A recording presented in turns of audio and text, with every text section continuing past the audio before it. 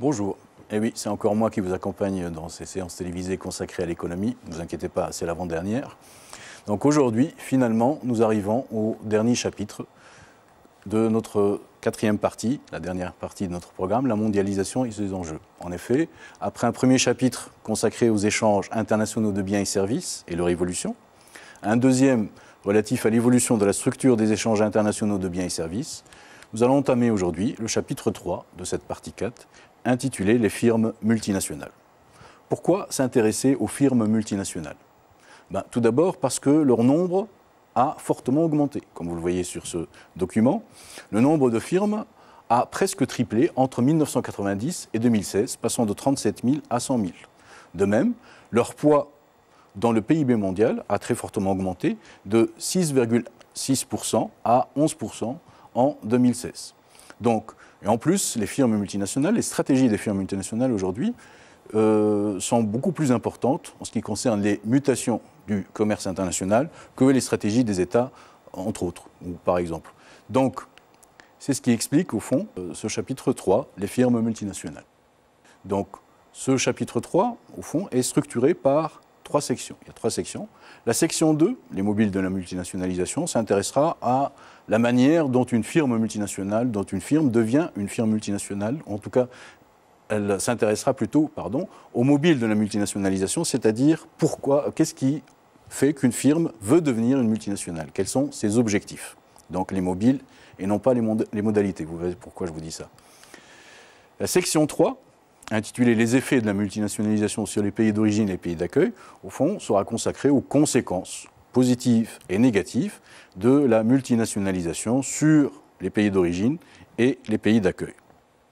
En ce qui concerne la section 1, la nôtre, intitulée La notion de firme multinationale, eh ben, il s'agit de voir d'abord de, définir la firme multinationale, de voir quelles sont les différentes modalités, c'est-à-dire comment une firme devient une firme multinationale, quelles sont les différentes formes de filiales qui existent, et enfin, on va s'intéresser au développement des échanges intra-firmes.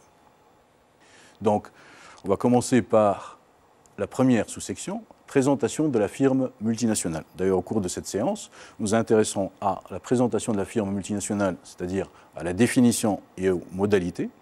Puis, nous commencerons la deuxième sous-section, mais on se limitera aux filiales commerciales. Donc, premièrement, définition de la firme multinationale. On va s'appuyer sur l'activité 1, page 264 de votre manuel, intitulé Firme uninationale et firme multinationale on va lire ensemble si vous voulez bien, on définira comme entreprise multinationale toute entreprise originaire d'un pays ayant des activités dans au moins un pays étranger. L'entreprise du pays d'origine s'appelle la maison mère et ses extensions dans les pays d'accueil des filiales.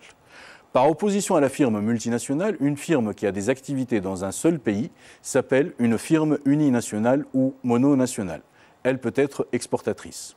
Donc vous voyez bien, que, d'après ce texte, ce texte, pour expliquer ce qu'est une firme multinationale, part du cas de la plupart des entreprises qui nous entourent, des entreprises que nous avons autour de nous, c'est-à-dire des entreprises qui ne sont pas justement multinationales, ce qu'il appelle des firmes uninationales ou mononationales. Donc une firme uninationale ou mononationale, c'est une firme qui produit uniquement dans, son pays, qui vend ses produits sur le marché local et qui, éventuellement, ce n'est pas toujours le cas, exporte. Donc ça, c'est une firme uninationale ou mononationale. Pour le dire autrement, une firme reste uninationale tant qu'elle n'investit pas à l'étranger. Donc, tant qu'elle n'investit que dans son pays. Donc, une firme uninationale ou mononationale, c'est une firme qui n'investit que dans son pays. Par contre, ou au contraire, une firme multinationale, c'est une entreprise qui investit à l'étranger en réalisant ce qu'on appelle un investissement direct à l'étranger. Donc la grande différence entre une firme uninationale ou mononationale et une firme multinationale ou transnationale, c'est que la firme uninationale n'investit que dans son pays, donc une activité dans son pays uniquement, alors que la firme multinationale, justement, investit à l'étranger. Une firme multinationale, donc, c'est quoi?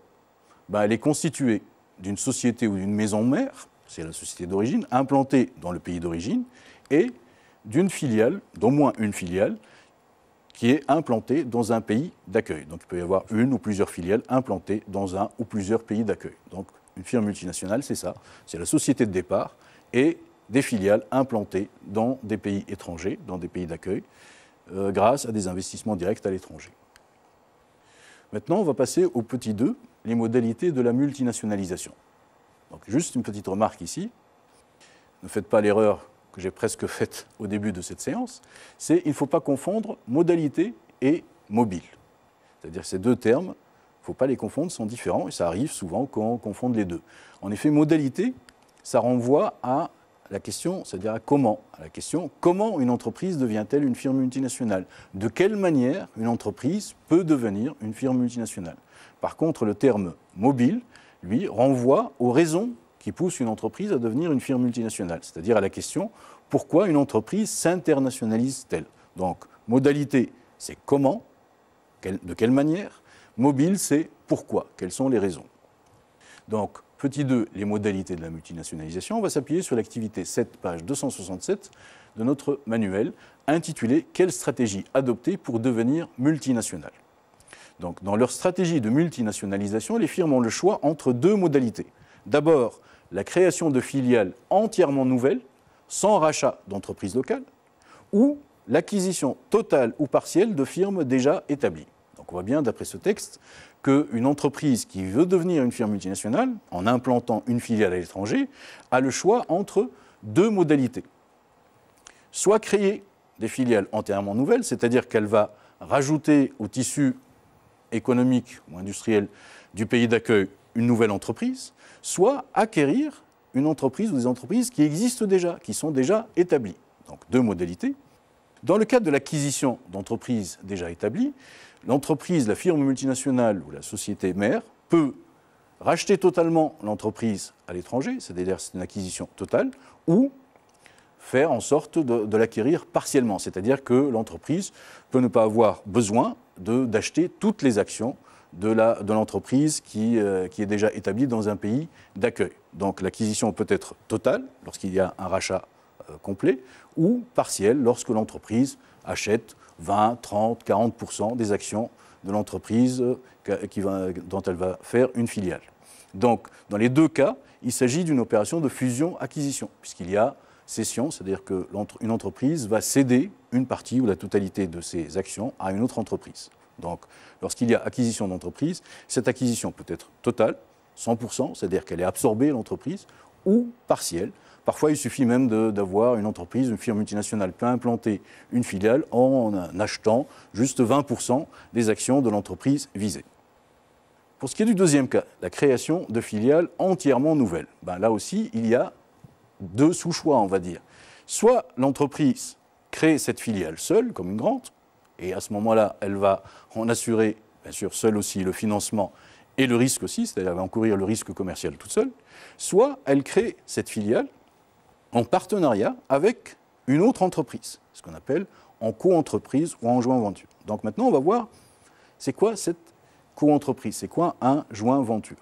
Donc on va s'appuyer sur l'activité 8, page 267 de notre manuel, intitulé justement Joint venture ou co-entreprise.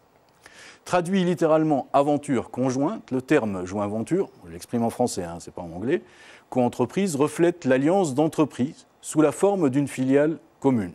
Il s'agit d'un accord entre des entreprises qui mettent en commun des ressources pour explorer un marché.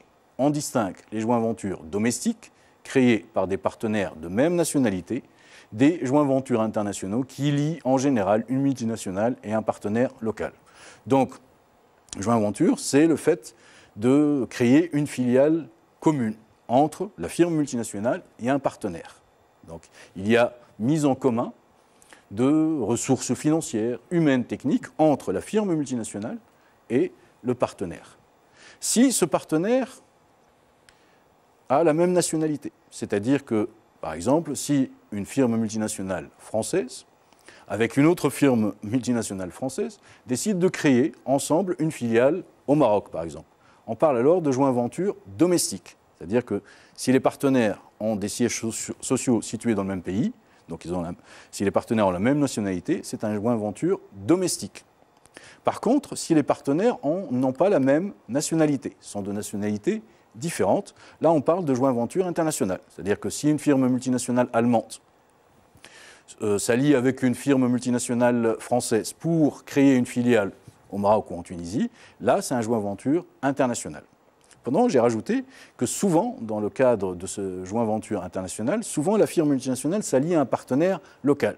C'est-à-dire que si la firme multinationale allemande veut créer une filiale en Tunisie, généralement, souvent, elle va s'associer avec un partenaire tunisien, un partenaire local. Pourquoi On peut se demander pourquoi? Donc, l'intérêt principal est de permettre de réduire les apports financiers nécessaires à un lancement d'activité, ainsi que le risque commercial encouru, et de bénéficier de la connaissance acquise par le partenaire local. Le choix délibéré, volontaire, d'accueillir un partenaire indigène local dans le capital d'une filiale vise deux objectifs essentiels. Premièrement, la multinationale cherche à tirer profit des compétences de son partenaire pour tout ce qui concerne les particularités du pays visé. Deuxièmement, le joint venture permet de bénéficier du réseau relationnel et politique du partenaire local. En effet, la filiale commune, comprenant des capitaux locaux, est en général mieux acceptée par les gouvernements, les banques ou les fournisseurs qu'une société à 100% étrangère. Donc on voit bien, d'après ce texte, qu'une firme multinationale cherche, à travers un joint venture international avec un partenaire local, cherche quoi? Tout d'abord, la réduction de l'apport financier et du risque commercial. Là, il faut dire que ce n'est pas un objectif qui est spécifique à un joint venture international. C'est le cas aussi lorsqu'il s'agit d'un joint venture domestique. C'est-à-dire que dans les deux cas, il y a une réduction de l'apport financier et du risque commercial de la firme. Ce qui est plus spécifique à un joint venture international, c'est que la firme multinationale veut tirer profit des compétences de ce partenaire local pour mieux connaître, les particularités du pays d'accueil. De même, en choisissant un partenaire local pour créer une filiale en commun, la firme multinationale cherche à s'intégrer plus facilement dans le tissu économique du pays d'accueil, puisque le partenaire local fait partie de ce pays et donc connaît mieux qu'elle le tissu économique et peut lui faciliter son intégration. Donc voilà les objectifs, au fond, recherchés par une firme multinationale à travers un joint venture international avec un partenaire local. Donc pour récapituler, une firme multinationale, c'est quoi? C'est une société mère, elle est constituée d'une société mère qui réalise des investissements directs à l'étranger pour soit créer une filiale entièrement nouvelle, seule ou en partenariat, soit acquérir partiellement ou totalement une entreprise déjà établie. Donc voilà une firme multinationale. Maintenant, la deuxième sous-section, c'est les différentes formes de filiales. En effet, les firmes multinationales ont des stratégies différentes, c'est-à-dire que les firmes multinationales peuvent poursuivre certains objectifs spécifiques qui demandent l'implantation d'une forme particulière de filiale. On n'a pas une seule forme de filiale ou un seul type de filiale. En tout, il y en a trois, qui sont au fond chacune d'elles euh, est liée à certains objectifs poursuivis par la firme multinationale. Donc parmi les formes de filiales, on a les filiales relais, ce sera la deuxième forme de filiale, les filiales ateliers et les filiales commerciales. Donc aujourd'hui, au cours de cette séance, on va se contenter des filiales commerciales, c'est-à-dire qu'on va voir de quoi il s'agit, c'est quoi une filiale commerciale, et puis surtout on va voir pourquoi une firme multinationale implante ce type de filiale. Donc premièrement, les filiales commerciales, on va s'appuyer sur l'activité 1, page 274 de notre manuel, intitulé S'approvisionner à l'étranger. Les premières multinationales dominantes jusqu'au début du XXe siècle avaient une stratégie d'approvisionnement. Les implantations étaient réalisées à l'étranger pour approvisionner la société mère à partir de l'exploitation de plantations, d'activités extractives et de comptoirs de commerce délocalisés près des ressources naturelles des pays en développement, colonies en ce moment-là, c'est encore des colonies. Cette stratégie des multinationales primaires, primaires parce que ces multinationales s'approvisionnent en produits primaires, donc énergie, euh, biens agricoles, etc. Donc cette stratégie des multinationales primaires est encore répandue dans les secteurs miniers, énergétiques et métallurgiques qui dépendent d'intrants en matière première. Donc, on voit bien, d'après ce texte, que euh, les, premières firmes multinationales, les firmes multinationales primaires, ont implanté des filiales commerciales dans une stratégie, dans une optique d'approvisionnement. Il s'agissait pour ces firmes multinationales d'exploiter les ressources du sous-sol, telles que les matières premières, l'énergie, les métaux rares, etc., mais aussi les ressources du sol, telles que les produits alimentaires, les biens agricoles, les matières premières pour l'industrie du textile, le coton par exemple. euh, ce type de filiale, ce type de stratégie d'approvisionnement liée à l'implantation de filiales commerciales est encore essentiel aujourd'hui dans les secteurs de l'énergie et de l'agriculture, entre autres. Ça n'a pas disparu. C'est toujours très important pour un certain nombre de firmes multinationales, et pas les moindres, d'implanter des filiales commerciales afin d'approvisionner la société mère ou d'autres filiales en matières premières, en produits euh, agricoles, etc. Pourquoi, au fond, ces firmes, on peut se poser la question, pourquoi ces firmes ne se sont pas contentées, au fond, d'importer les matières premières, etc., dont elles ont besoin? Ben, Si on, lit ensemble les deux dernières lignes, vous aurez la réponse. Ces firmes tendent à s'intégrer verticalement en amont à l'étranger, y compris en absorbant leurs fournisseurs étrangers. Donc, l'idée, c'est que ces firmes multinationales ne se contentent pas d'importer les matières premières, l'énergie dont elles ont besoin, mais elles implantent des filiales commerciales parce qu'elles veulent s'intégrer verticalement en amont. S'intégrer verticalement en amont, ces termes devraient ramener certains souvenirs. Au cours de la deuxième partie de notre programme, celle qui est euh, relative à les mutations des structures économiques qui accompagnent la croissance économique, qui accompagnent l'augmentation de la production, il y a une section qui est consacrée à la concentration des entreprises. Donc, L'intégration verticale, c'est une concentration verticale. C'est une des trois formes de la concentration, c'est-à-dire du regroupement d'entreprises. Donc, l'idée, d'après ce texte, c'est que les firmes qui implantent des filiales commerciales, au fond, s'intègrent.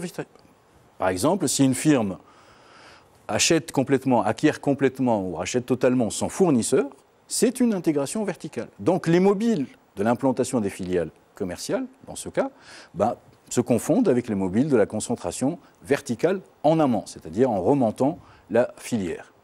Donc les principaux objectifs de l'implantation de cette forme de filiale sont les principaux objectifs de la concentration verticale en amont, c'est-à-dire baisser le coût unitaire de production, par exemple en éliminant la marge du fournisseur, afin d'obtenir une meilleure compétitivité prix, ou alors assurer, et aussi, assurer la régularité et la bonne qualité des approvisionnements ben, la firme multinationale cherche à avoir cette régularité et cette bonne qualité afin d'améliorer sa compétitivité structurelle ou hors prix.